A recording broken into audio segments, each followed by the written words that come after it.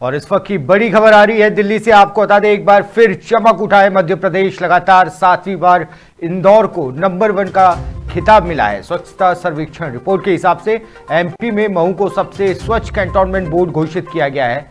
वहीं अब भोपाल देश का पांचवा सबसे स्वच्छ शहर बन चुका है। दिल्ली से इस वक्त की बड़ी खबर आपको बता दें, राष्ट्रपति द्रौपदी मुर्मू ने सम्मानित किया है, क्योंकि मध्य प्रदेश स्वच्छता सर्वेक्षण 2023 की रिपोर्ट के मुताबिक एक बार फिर से सबसे साफ़ सुथरा प्रदेश आया है इंदौर और सूरत को नंबर एक का खिताब मिला है। इंदौर और सूरत देश के सबसे अच्छे शहर हैं। लगातार सातवीं बार इंदौर को नंबर एक का खिताब मिला है।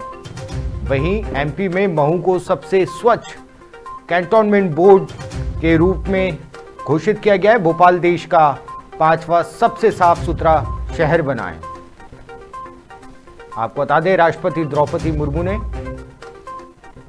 एमपी के छह शहरों को स्वच्छता सर्वेक्षण 2023 की रिपोर्ट के मुताबिक अवार्ड दिया है, जहाँ पर इंदौर और सूरत को नंबर एक का खिताब मिला है।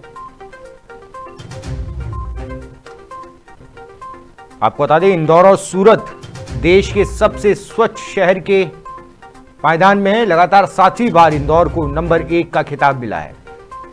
मध्य प्रदेश के छह शहरों को संयुक्त रूप से सबसे स्वच्छ शहर का खिताब मिला है। भोपाल देश का पांचवा सबसे साफ़ सुथरा शहर बनाया गया।